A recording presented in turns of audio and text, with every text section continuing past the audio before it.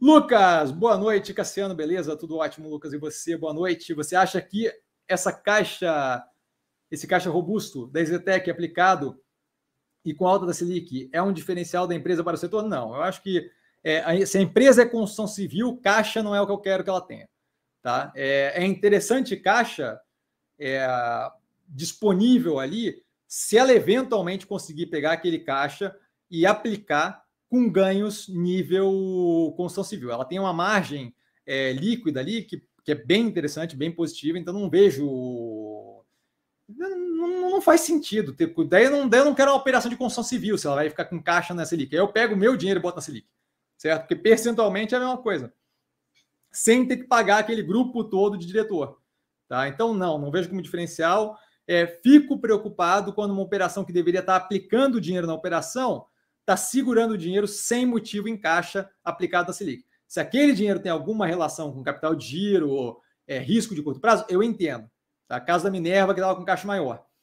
Se a operação não tem uso para aquele dinheiro e tem um monte, um bolo de dinheiro, na minha cabeça ela não está vendo condições de operar da forma que ela opera. E aí isso daí começa a me preocupar, começa, eu começo a sentir é, a possibilidade de estacionamento. Não sei se é o caso da Zetec, mas, mas eu não vejo como diferencial, eu vejo como negativo ela, é, o que mostra para mim não é eu tenho um monte de caixa, o que mostra para mim é eu não estou conseguindo rodar minha operação.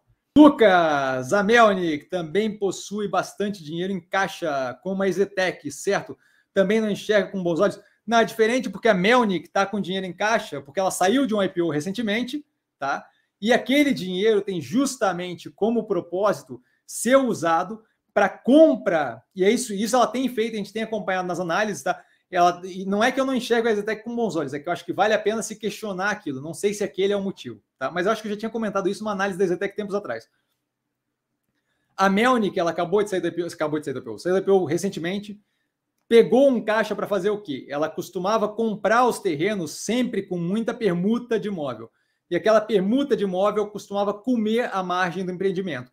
Quando eu pago dinheiro, e aí para isso, caixa, a ideia é montar um land bank cada vez mais com dinheiro, compra, propriedade, do que com permuta, cash do que permuta, porque aquelas, aqueles empreendimentos que eu vou fazer com base nos terrenos comprado com, comprados com cash, e aí, supondo que eu consiga manter minha operação, aqueles terrenos vão me dar empreendimentos com maior margem do que os com permuta. Essa era toda a ideia, o ganho de uh, eficiência e margem na operação, certo?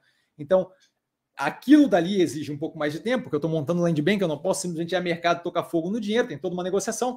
Mas se você olhar as análises, você vai ver que o land bank dela está cada vez mais com uma presença de, de terreno comprado com caixa ao invés de permuta mais presente ali, o que justamente dá para a gente a possibilidade de margens de almejar margens melhores no futuro, tá, Lucas? Espero ter respondido.